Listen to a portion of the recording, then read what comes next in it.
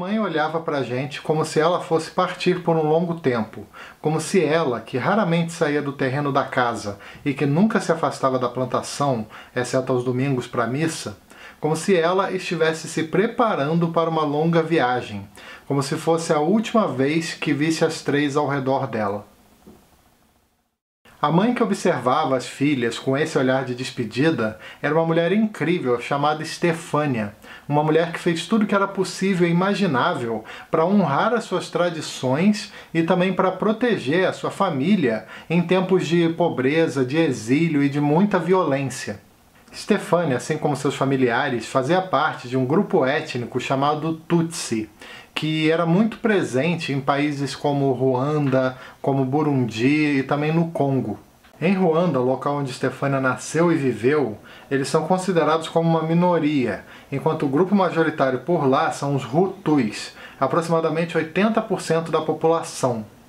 Entre as décadas de 20 e 60, quando aquele território ainda era colonizado pela Bélgica, os Tutsis receberam diversos privilégios por serem parte da monarquia vigente na época, o que acabou despertando um enorme rancor dos Hutus. Em 1962 o jogo virou. Com a independência de Ruanda, o país deixou de ser controlado pelos belgas e passou a ser governado pelos Hutus, que por sua vez iniciaram uma, uma série de políticas de repressão justamente a essa minoria Tutsi. Todos os Tutsis, por exemplo, foram obrigados a sair das suas terras para viver em exílio numa parte muito seca e bem menos favorecida do país. Alguns até conseguiram fugir para países vizinhos, mas a grande maioria acabou ficando por lá mesmo. Entre esses exilados estava Stefania e a sua família. Ela, assim como vários outros Tutsis, tinham agora que viver em péssimas condições e também com aquele constante medo da violência, tanto por parte dos militares quanto por parte dos extremistas políticos. A escritora ruandesa Scholastique Mukasonga, filha de Stefania, lançou em 2008 um livro em homenagem à sua mãe, uma obra conhecida como A Mulher de Pés Descalços, publicada no Brasil pela editora Nós e com tradução de Marília Garcia. O livro começa bastante triste, com reflexões da autora sobre a morte da sua mãe.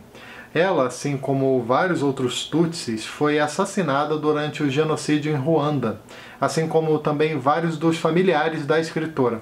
Para quem não conhece, em 1994 ocorreu um genocídio naquele país provocado pela perseguição de milícias e militares Hutus aos Tutsis ou Hutus que não concordavam com a situação.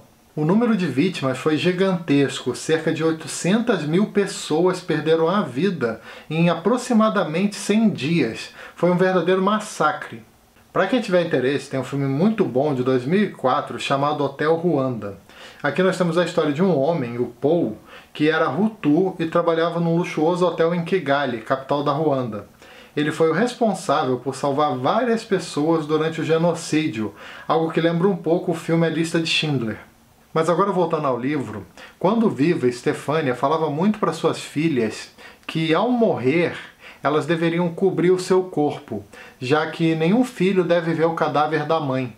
A Scholastique, que na época do genocídio morava na França, reflete um pouco sobre como ela não conseguiu realizar esse desejo.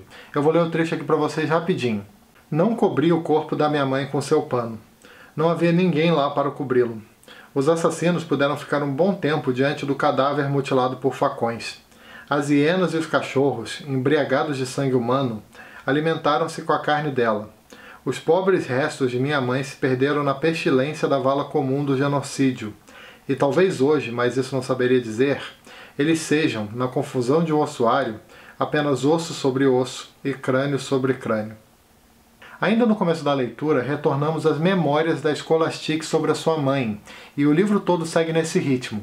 A proposta da autora foi fazer uma espécie de resgate sobre quem foi aquela mulher e como ela viveu. Inicialmente, vemos a enorme preocupação que a Stefânia tem com todos os seus filhos, especialmente naquela situação anterior ao genocídio, em que havia muita perseguição aos Tutsis e eles eram completamente marginalizados. Haviam muitos militares que invadiam as casas para roubar coisas ou para prender pessoas. E por conta disso, a Stefania acabou criando diversos métodos e planos de sobrevivência para conseguir de alguma forma proteger os seus filhos quando isso acontecesse. Isso ia desde esconderijos no mato ou camuflagem até de repente até a possibilidade de uma fuga para outro país. Ela também sempre ficava conversando com os vizinhos para ver se tinha algum problema no local ou se havia algum risco de um perigo iminente. Ao longo da leitura, também acompanhamos em diversos momentos como essa mãe acabou desenvolvendo um verdadeiro desprezo por qualquer coisa que não fosse tradicional. Ela simplesmente não tolerava uma interferência estrangeira, objetos que vinham do exterior ou coisas assim. Isso tudo muito por conta do trauma provocado pelo racismo durante a colonização belga.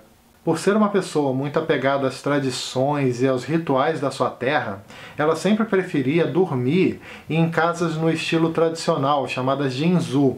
Ela gostava muito mais de dormir nesse tipo de, de residência do que nas casas de paredes retas, como ela falava, né? Nas casas de paredes retas que, que chegaram em Ruanda por conta dos estrangeiros. Ela também gostava, por exemplo, de fazer o fogo se utilizando de métodos próprios e nunca palito de fósforos, por exemplo. Também não gostava de utilizar instrumentos ou objetos de metal e várias outras coisas. Além disso, a Stefania era completamente apaixonada pelas festas e hábitos locais. Um bom exemplo era o dia da colheita do sorgo, que é um tipo de cereal muito comum em Ruanda e também em outros países da África Central. Esse era um evento muito importante que envolvia praticamente toda a comunidade, né? desde as crianças até os mais velhos. No decorrer da leitura, nós ainda veremos várias outras situações, como por exemplo, o apreço enorme que ela tinha pela educação dos seus filhos, sobre como ela gostava de contar histórias, sobre o interesse dela por plantas medicinais, sobre a enorme influência que a Estefânia tinha no casamento da, da sua comunidade, né, na vila onde ela vivia, e por aí vai. O decorrer do livro segue sempre essa lógica né, de montar como se fosse um tipo de painel de memórias onde a Scholastic ela se recorda tanto de lembranças da sua mãe, principalmente isso, né? Quanto também de coisas que ela vivenciou em Ruanda ou situações que ela viu, sejam situações boas, como as pequenas alegrias da infância, por exemplo, ou situações ruins, né, que ela, ela acabou observando no local onde ela vivia como situações tipo de violência sexual contra mulheres, de perseguições e várias outras coisas. Vale dizer aqui que essa obra, apesar de falar bastante coisa sobre a situação dos Tutsis em Ruanda e também sobre a condição da família da Scholastic naquele cenário né, de, de perseguição, ele não se limita apenas a isso. Uma das principais propostas da autora, ao meu ver, foi de mostrar como era a vida de uma mulher Tutsi na Ruanda daqueles anos, sobre como, mesmo com todo o preconceito, com a perseguição e com vários dos perigos, elas tinham que dar um jeito de tirar forças para conseguir aguentar.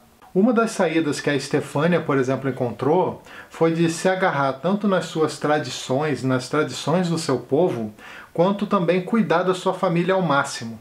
A Mulher de Pés Descalços é um livro que funciona como um alerta para os perigos da intolerância, quando um povo simplesmente não tolera a existência de outro, e também fala muito sobre o enorme valor das lembranças. A própria autora percebeu, ao assistir na televisão o extermínio do seu povo durante o genocídio, que uma coisa que não poderia se perder em hipótese nenhuma era justamente a memória.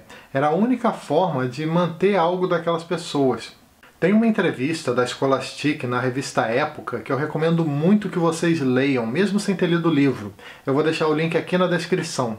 Além de nos mostrar um pouco da vida da autora, esse artigo também é interessante porque ele toca muito nessa questão da preservação da memória e de como a autora realmente sempre se preocupou muito com isso além de, de também tocar em outras temáticas, como por exemplo a coisa de como surgiu né, essa rivalidade entre Hutus e Tutsis, que foi muito provocada principalmente pelos colonizadores europeus. Tem um trecho na entrevista também que é bem emocionante, onde a escritora fala sobre como seus pais disseram para ela, quando ela estava prestes a se mudar para a França, de que ela seria a única testemunha de que eles existiram.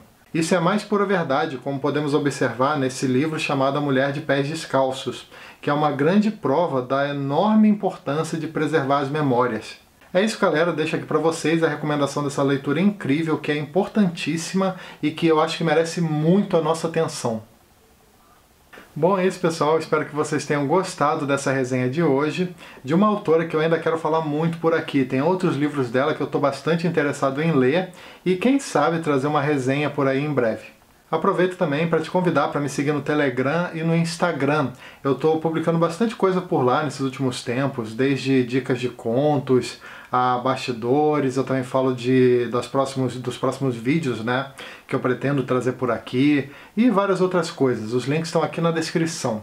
Também não se esquece de que todo domingo às 18 horas tem vídeo novo aqui no canal, além de outros conteúdos que eu posso publicar aleatoriamente ao longo da semana. E se você gosta do conteúdo do canal e tem interesse em ajudar de alguma maneira, eu vou deixar aqui embaixo na descrição alguns links da Amazon, inclusive o link desse livro que eu falei aqui hoje, e aí basta clicar neles e efetuar qualquer pedido de qualquer coisa que o canal recebe uma pequena comissão. Também não deixe de dar uma curtida aqui embaixo porque ajuda bastante, de se inscrever também no canal para ficar sabendo das novidades e de clicar no sininho para receber as notificações cada vez que eu publicar um vídeo novo por aqui. Beleza? Então é isso aí. Até o próximo vídeo. Tchau!